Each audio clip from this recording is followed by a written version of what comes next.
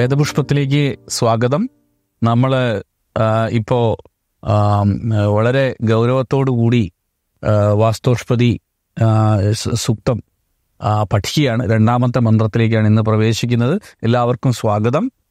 നമ്മൾ ഈ വീഡിയോ കാണുക പഠിക്കുക മറ്റുള്ളവർക്ക് വേണ്ടി അത് ഷെയർ ചെയ്ത് കൊടുക്കുക.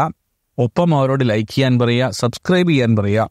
ഇത് വളരെ പ്രധാനപ്പെട്ട സൂക്തങ്ങളാണ് നമ്മൾ പഠിക്കുന്നത്. മലയാളക്കരയിൽ ഇതാദ്യമായിട്ടാണ് ഇത്രയും സൂക്തങ്ങൾ ഒരു യൂട്യൂബ് ചാനലിൽ വരുന്നത്. അതിന്റെ പദാനുപദം അർത്ഥത്തോടു കൂടി വരുന്നത് ആദ്യമായിട്ടാണ്. അതുകൊണ്ട് നിങ്ങൾ തീർച്ചയായിട്ടും ഇത് ഒരു ചരിത്ര സംഭവമാണ്. ഇത്രയധികം ആളുകളിലേക്ക് ഇത് എത്തുന്നു എന്നുള്ളത് സന്തോഷകരമായ കാര്യമായിട്ട് നമുക്കും തോന്നുന്നത് അപ്പോൾ ഈ രണ്ടാമത്തെ മന്ത്രത്തിന്റെ ഋഷി ബ്രഹ്മയാണ്. ബ്രഹ്മ ഋഷി വിരാട് ജഗതീ ഛന്ദ വിരാട് ജഗതീ ഛന്ദ ദേവത നേരത്തെ തന്നെ വാസ്തോഷ്പതി ശാല ച. അതാണ് സൂക്തം. നമുക്കിനി ഈ മന്ത്രത്തിലേക്ക് പ്രവേശിക്കാം. ഓം ഇഹൈവ ധ്രുവ പ്രതിഷ്ഠ ശാലേ അശ്വാവതി ഗോമതി സൂനൃതാവതി ഊർജസ്വതി ഘൃതവതി പയസ്യുച്ഛ്രയസ്വ മഹതേ സൗഭഗായ. നമ്മൾ ചൊല്ലാം. ഓം ഇഹേവ ധ്രുവാ പ്രതിഷ്ഠശാലേ അശ്വാവതി ഗോമതി സൂനൃതാവതി ഊർജസ്വതി ഘൃതവതി പയസ്യുച്ഛ്രയസ്വ മഹതേ സൗഭഗായ. ഒന്നും കൂടി ചൊല്ലാം. ഓം ഇഹേവ ധ്രുവാ പ്രതിഷ്ഠശാലേ അശ്വാപതി ഗോമതി സൂനൃതാവതി ഊർജസ്വതീ ഘൃതവതീ പയസ്യുച്ഛ്രയസ്വ മഹദേ സൗഭഗായ. ഇതാണ് അഥർവേദത്തിലെ മൂന്നാം കാണ്ഡത്തിൽ പന്ത്രണ്ടാമത്തെ സൂക്തത്തിൽ രണ്ടാമത്തെ മന്ത്രം. എന്താണ് ഇതിനർത്ഥം എന്ന് നമുക്കൊന്ന് നോക്കാം. ശാലേ. ഇവിടെ നേരത്തെ കഴിഞ്ഞ മന്ത്രം അവസാനിച്ചത് വീടിനോട് പറഞ്ഞുകൊണ്ടാണല്ലോ അല്ലയോ വീടേ എന്ന് പറഞ്ഞുകൊണ്ട്. ഇവിടെ അത് തുടരുകയാണ്. അല്ലയോ ശാലേ ശാലേ. അല്ലയോ വീടേ? നീ ഇഹ ഏവ ഇഹ ഏവ ഇവിടെ തന്നെ പ്രതിഷ്ഠ പ്രതിഷ്ഠിതമാകൂ. നീ ഇവിടെ തന്നെ പ്രതിഷ്ഠിതം എന്റെ വീട് ഇവിടെ തന്നെ ഉറച്ചിരിക്കണം. നീ അശ്വാവതി. അശ്വങ്ങളോട് കൂടിയതും അഥവാ വാഹനങ്ങളോട് കൂടിയതും അശ്വാവതി. അശ്വങ്ങളോട് കൂടിയതും അഥവാ വാഹനങ്ങളോട് കൂടിയതും ഗോമതി ഗോക്കളോട് കൂടിയതും. പിന്നെയോ ഗോക്കളോട് കൂടിയതും. സൂനൃതാവതി ശുഭകാരിയായ വേദവാണിയാൽ മുഖരിതമായതും. സൂനൃതാവതി ശുഭകാരിയായ വേദവാണിയാൽ മുഖരിതമായതും. ഊർജസ്വതി ഊർജത്താൽ അഥവാ അന്നത്താൽ സമൃദ്ധവും.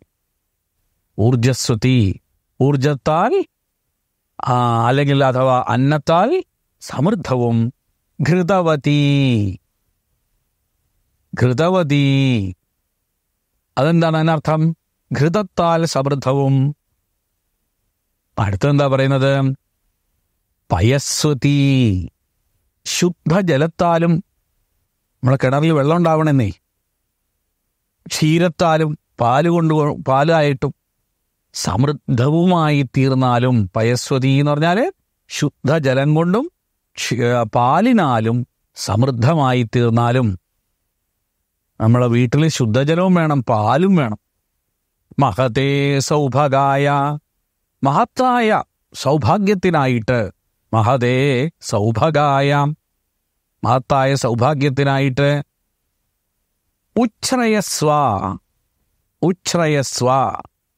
ഉയർന്നു നിന്നാലും ഉച്ഛ്രയസ്വ ഉയർന്നു നിന്നാലും എന്ന് പറയുക അപ്പോൾ നമുക്ക് ഈ മന്ത്രത്തിന്റെ അർത്ഥം സാമാന്യത നമ്മൾ പറഞ്ഞു. ഇനി നമുക്ക് ഒന്നും കൂടി ആ മന്ത്രം ഒന്ന് ചൊല്ലാം. ഓം ഇഹേവ ധ്രുവാ പ്രതിഷ്ഠശാലേ അശ്വാവതി ഗോമതി സൂനൃതാവതി ഊർജസ്വതി ഘൃതവതി പയസ്യുച്ഛ്രയസ്വ മഹതേ സൗഭഗായ.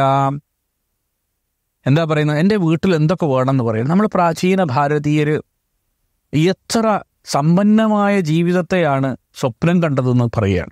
ഒരാളൊരു വീട് വെക്കുമ്പോൾ അയാൾക്കുണ്ടാകുന്ന സകല സ്വപ്നങ്ങളും സാക്ഷാത്കരിക്കണമെന്ന് പറയുന്ന മനോഹരമായ മന്ത്രങ്ങളാണ് ഇവിടെ നമുക്ക് കാണാൻ കഴിയുക. ഇവിടെ പറയാ അല്ലയോ ശാലേ നീ ഇഹ ഏവ ഇവിടെ തന്നെ പ്രതിഷ്ഠ പ്രതിഷ്ഠമാകൂ. നീ അശ്വാവതി അശ്വങ്ങളോട് കൂടിയതും അഥവാ വാഹനങ്ങളോട് കൂടിയതുമായിരിക്കണം. എന്റെ വീട്ടിൽ നല്ല വാഹനങ്ങൾ വേണം എന്നുള്ള കാര്യത്തിൽ പ്രാചീന ആചാര്യന്മാർക്ക് യാതൊരു സംശയം ഉണ്ടായിരുന്നു ഭൗതികതയെ നിഷേധിക്കുന്നേ ഇല്ല എന്നർത്ഥം. അത് ഭൗതികമത വേണം തന്നെയാണ് പറയുന്നത്. അത് ഉണ്ടെങ്കിലേ അത് നമുക്ക് വേണ്ടാന്ന് വെക്കാൻ പറ്റുള്ളൂ. ഇല്ലാതെ ഒരാൾ വേണ്ടാന്ന് വെക്കാൻ പറ്റുമോ? ഗോമതി ഗോക്കളോട് കൂടിയതാവണം. വീട്ടിൽ പശുക്കൾ ഉണ്ടാവുമായിരുന്നു. അത് മാത്രം അത് മാത്രം മതിയോ? ഇപ്പം നമ്മളെ വീട്ടിൽ വാഹനങ്ങൾ വേണം. ഗോക്കൾ നമുക്ക് നല്ല പാൽ തരും എല്ലാ സൗകര്യങ്ങളൊക്കെ തരും. പിന്നെ ചാണം തരും. അത് നമുക്ക് നമ്മളെ കൃഷിക്ക് ഉപയോഗിക്കാം. ഗോമൂത്രം നമുക്ക് കൃഷിക്ക് ഉപയോഗിക്കാം. മണ്ണിനെ എന്താണ് കൂടുതൽ വിളവെടുക്കുന്നതാക്കാം. എന്ന് അത് മാത്രം മതിയോ? പോരാ. സുനൃത്താവതി. ശുഭകാരിയായ വേദവാണിയാൽ മുഖരിത. വീട്ടിലെന്നും വേദമന്ത്രങ്ങൾ ചൊല്ലണം. അതിൽ നിന്നുള്ള അർത്ഥമറിഞ്ഞ് ജീവിക്കുമ്പോഴാണ് ഈ പറഞ്ഞ ഐശ്വര്യവും സമൃദ്ധിയൊക്കെ നമുക്ക് ഉണ്ടായി വരുന്നത്. ഊർജസ്വതി അവിടെ ജീവിക്കുന്നവർക്ക് ഊർജം ഉണ്ടാവണം. നല്ല ഊർജം ഉണ്ടായ ബാലസന്മാരല്ല എന്നെന്നും അത് ഇങ്ങനെ പോട്ടെ നാളെ ചെയ്യാൻ നാളെ ചെയ്യാൻ ഊർജസ്വതി ഊർജസ്വ ഊർജത്താൽ അഥവാ അന്നത്താൽ സമൃദ്ധമായിരിക്കണം. നല്ലോണം ഭക്ഷണം ഉണ്ടായാലേ ഊർജം ഉണ്ടാവുള്ളൂ. വീട്ടിൽ നല്ലോണം അന്നം വേണം. ഘൃതവതി. ഘൃതത്താൽ സമൃദ്ധമായിരിക്കണം എന്ന് പറഞ്ഞാൽ നെയ്യ് വേണം വീട്ടിൽ. പയസ്വതി നല്ല ശുദ്ധജലം ഉണ്ടാവണം വീട്ടിൽ. കിണറുണ്ടാവണം. ക്ഷീരം അതായത് പാലുണ്ടാവണം. അപ്പോൾ അങ്ങനെയുള്ള മഹതേ സൗഭാഗായ മഹത്തായ സൗഭാഗ്യത്തിനായിട്ട് ഉച്ഛ്രയസ്വ ശാലേ വീടേ ഗൃഹമേ നീ ഉയർന്നു നിന്നാലും എന്ന് പറയാണ് ഇവിടെ. ഇത് ഇതൊക്കെ ജപിക്കുമ്പോൾ നമുക്കിതിന്റെ അർത്ഥം മനസ്സിലാക്കി ജപിക്കുമ്പോൾ നമ്മളെ വീട് എങ്ങനെ വേണം എന്നുള്ളൊരു പ്ലാനിങ് ഉണ്ടാവും. ഒരു വീട് എന്താണ്? ആ പ്ലാനിങ് ആണ് ഇതിനെക്കുറിച്ച് പറയുന്നത്. കൂടുതൽ അറിയാൻ നിങ്ങൾ തീർച്ചയായിട്ടും ഞങ്ങളുമായിട്ട് ബന്ധപ്പെടുക. ഫോൺ നമ്പർ കൊടുക്കുന്നുണ്ട് ഇമെയിൽ കൊടുക്കുന്നുണ്ട് വാട്സപ്പ് ഉണ്ട് എല്ലാം ഉണ്ട്. അതിലെല്ലാം ഉപരിയായിട്ട് നിങ്ങളിത് എല്ലാവർക്കും കൊടുക്കണം ഇത് അയച്ചു കൊടുക്കണം. നിങ്ങൾ സബ്സ്ക്രൈബ് ചെയ്യണം ഷെയർ ചെയ്യണം ലൈക്ക് ചെയ്യണം കമന്റും ചെയ്യണം. പലരും കമന്റ് ചെയ്യുന്നില്ല. ഇങ്ങോട്ട് നേരിട്ട് വിളിച്ചു പോയി ചെയ്യുന്നത് അതിന് പകരം അവിടെ കമന്റ് ചെയ്താൽ അതിൽ ഉത്തരം നമുക്ക് അവിടെ എല്ലാവർക്കും അത്തരം ചോദ്യങ്ങളുണ്ടല്ലോ എന്ന് തോന്നി അത്തരം ചോദ്യങ്ങൾക്കുള്ള ഉത്തരം പറയാൻ സാധിക്കും. എന്ന് മാത്രം പറഞ്ഞുകൊണ്ട് ഇന്നത്തെ ഈ വേദപുഷ്പം കൂടി അവസാനിപ്പിക്കുകയാണ്. ഹൃദയ നമസ്കാരം.